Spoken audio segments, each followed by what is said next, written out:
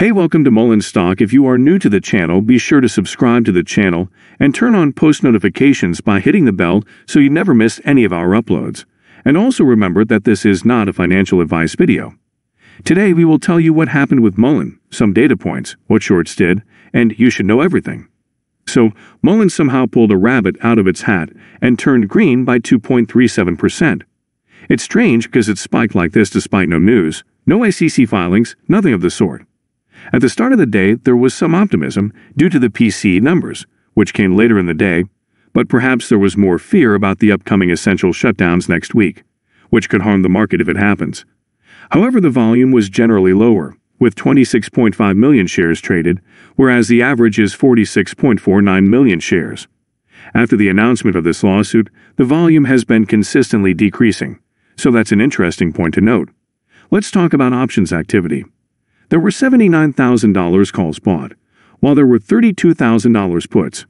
Based on this information, there seems to be some optimism for the upcoming week. I'm not entirely sure because technically things are looking a bit shaky after dropping below the 50 cent mark. But perhaps they are waiting for some potential news. I'm not entirely sure. But one thing worth noting is the issue of deliveries. As per the latest news from Mullen, there haven't been any deliveries yet. It was promised that they would be delivered by September 30th. So there is hope that if these deliveries are completed tomorrow, they will be included in the quarterly earnings and in the fiscal year 2023, as Mullen earnings wrap up on September 30th, 2023 for the fiscal year. So those are some specifics about Mullen, which had fallen below the 50 cent mark, meaning that approximately 13,000 options will expire worthless. I have informed you that market makers are trying to exert significant pressure on Mullen and want to push 50 cent mark down to avoid covering their options. This is why you might notice some tension around 50 cent mark, and it's essential to keep an eye on it. But one thing I want to quickly mention is the expiry date of the October 20th options chain. This indicates that many expectations are tied to it. When we look at the strike price of 50 cents, there is $5,000 in open interest. When we look at the dollar mark, there is $10,000, and when we look at $1.50, there is $7,000. This means that many people believe that something significant might happen before October 20th.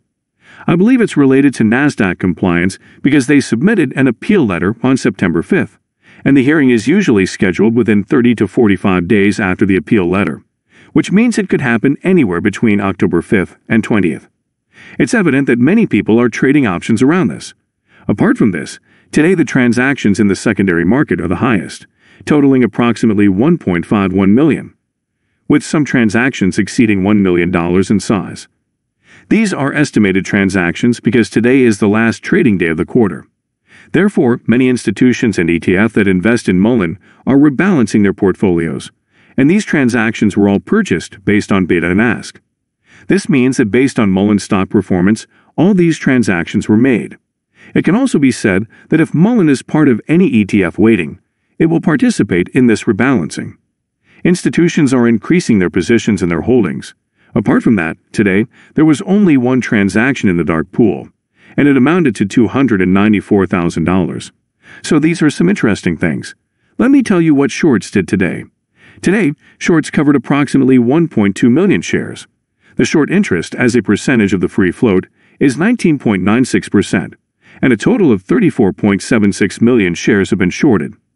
According to Interactive Brokers Short Availability, you can short about 650,000 shares if you want to. Please keep in mind that the average cost to borrow for shorting is currently 22.76%. Guys, that's all we have for you today. What is your opinion about Mullen stock? Get involved and let us know in the comments down below. Thank you for watching.